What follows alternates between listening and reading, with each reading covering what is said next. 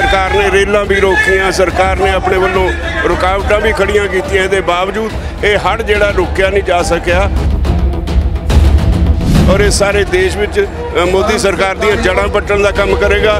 ਹਾਲੇ ਵੀ ਅਕਲਮੰਦੀ ਅਕਲਮੰਦੀ ਡਿਮਾਂਡ ਕਰਦੀ ਹੈ ਵੀ ਉਹ ਕਿਸਾਨਾਂ ਨੂੰ ਇੰਨਾ ਹਲਕੇ 'ਚ ਨਾ ਰਹਿਣ। ਬੀਜੇਪੀ ਕਿਤੇ ਲੱਭਣੀ ਨਹੀਂ ਜੇ ਕਿਸਾਨਾਂ ਨੂੰ ਇਸੇ ਤਰ੍ਹਾਂ ਪਰੇਸ਼ਾਨ ਕਰਦੇ ਰਹੇ। ਦੇਖੋ, ਸਰਕਾਰ ਦਬਾਅ ਮੰਨਦੀ ਹੈ ਕਿ ਨਹੀਂ ਮੰਨਦੀ, ਇਹ ਤਾਂ ਵਕਤ ਦੱਸੂਗਾ। ਪਰ ਅਸੀਂ ਸਰਕਾਰ ਨੂੰ ਇਹ ਦੱਸਦਾ ਵੀ ਕੰਨ ਤੇ ਲਿਖਿਆ ਪੜ੍ਹ ਦੋ। ਜੇ ਮੋਦੀ ਸਰਕਾਰ ਨੇ ਹੁਣ ਵੀ ਨਾ ਸੁਣੀ ਜੜਾਂ ਹਿਲਾ ਦਾਂਗੇ ਤੇਰੀਆਂ। ਕੱਲਾ ਪੰਜਾਬ ਨਹੀਂ, ਸਾਰਾ ਹਿੰਦੁਸਤਾਨ ਉੱਠਿਆ ਹੋਇਆ ਹੈ। ਯੂਪੀ ਦੇ ਵਿੱਚੋਂ ਵੀ ਤੇਰਾ ਸਫਾਇਆ ਹੋਊ, ਪਹਿਲਾਂ ਬੰਗਾਲ ਚੋਂ ਸਫਾਇਆ ਹੋਇਆ ਹੈ। ਤੈਨੂੰ ਕਾਨੂੰਨ ਹਰ ਹਾਲਤ ਹੀ ਵਾਪਸ ਲੈਣੇ ਪੈਣਗੇ। ਕਾਨੂੰਨ ਵੀ ਵਾਪਸ ਲਵੇਗਾ 100 ਗੰਡਾ ਵੀ ਖਾਵੇਗਾ 100 ਛੇਤਰ ਵੀ ਖਾਵੇਗਾ ਤੇ ਮਾਫੀ ਵੀ ਮੰਗੇਗਾ। ਦੋਸਤੋ, ਤੁਸੀਂ ਰੋਜ਼ਾਨਾ ਸਪੋਕਸਮੈਨ ਦੇਖ ਰਹੇ ਹੋ ਤੇ ਮੈਂ ਸ਼ੈਸ਼ਮ ਨਾਗਰਾ ਤੁਹਾਡੇ ਸਾਰਿਆਂ ਦਾ ਸਵਾਗਤ ਕਰਦਾ ਇਸ ਵਕਤ ਮੁਜ਼ੱਫਰਨਗਰ ਮਹਾਪੰਚਾਇਤ ਹੋ ਰਹੀ ਹੈ ਜਿੱਥੇ ਉੱਥੇ ਸਟੇਜ ਤੇ ਬੈਠੇ ਆ ਮੇਰੇ ਨਾਲ ਕਿਸਾਨ ਆਗੂ ਰਾਜੇਵਾਲ ਜੀ ਤੇ ਉਗਰਾਹਾਂ ਜੀ ਮੌਜੂਦ ਨੇ। ਸਭ ਤੋਂ ਪਹਿਲਾਂ ਤਾਂ ਤੁਹਾਡੇ ਦੋਨਾਂ ਦਾ ਸਵਾਗਤ ਹੈ। ਪਹਿਲਾਂ ਤਾਂ ਮੈਂ ਇਹ ਦੱਸੂੰਗਾ, ਪੁੱਛਣਾ ਚਾਹੂੰਗਾ ਕਿ ਲੱਗਦਾ ਸੀ ਕਦੇ ਕਿ ਇਸ ਜਿਹੜਾ ਅੰਦੋਲਨ ਪੰਜਾਬ ਤੋਂ ਉੱਠ ਕੇ ਜਨ ਅੰਦੋਲਨ ਬਣ ਜਾਊਗਾ ਪਤਾ ਸੀ, ਪਹਿਲਾਂ ਪਤਾ ਸੀ ਸਮਾਂ ਲੱਗੂ।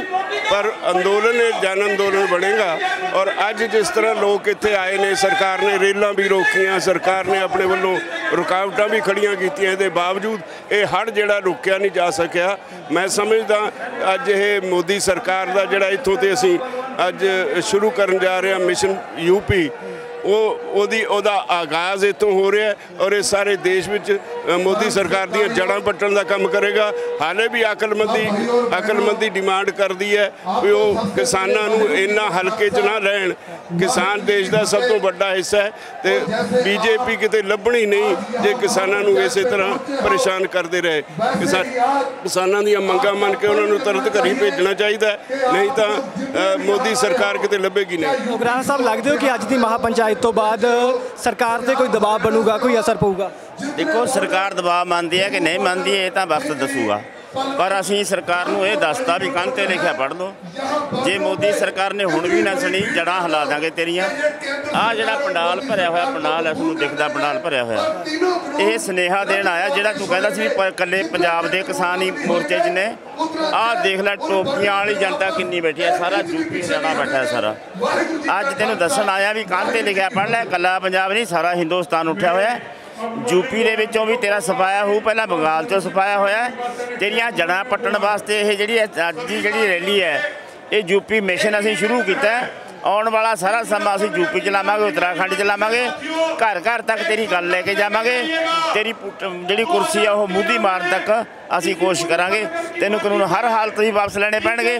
ਕਾਨੂੰਨ ਵੀ ਵਾਪਸ ਲਵੇਂਗਾ 100 ਗੰਡਾ ਵੀ ਖਾਵੇਂਗਾ 100 ਛੇਤਰ ਵੀ ਖਾਵੇਂਗਾ ਤੇ ਮਾਫੀ ਵੀ ਮੰਗੇਗਾ ਸਾਰਾ ਕੁਝ ਕਰੇਗਾ। ਪੰਜਾਬ ਦੇ ਵਿੱਚ ਵੀ ਇਲੈਕਸ਼ਨ ਨੇ ਉਸ ਨੂੰ ਲੈ ਕੇ ਕੋਈ ਰਣਨੀਤੀ ਹੈਗੀ ਹੈ ਉਸ ਨੂੰ ਲੈ ਕੇ ਕੁਝ ਪਲਾਨ ਹੈਗਾ? ਪਹਿਲਾਂ ਤੁਸੀਂ ਅੱਜ ਦੀ ਰੈਲੀ ਤੇ ਗੱਲ ਕਰੋ। ਕੋਈ ਲੱਗਦਾ ਕਿਤੇ ਟਿਕਾਣਾ ਇੰਨੇ ਦੂਰ ਤੱਕ ਕਿਸਾਨ ਖੜਾ ਹੈ?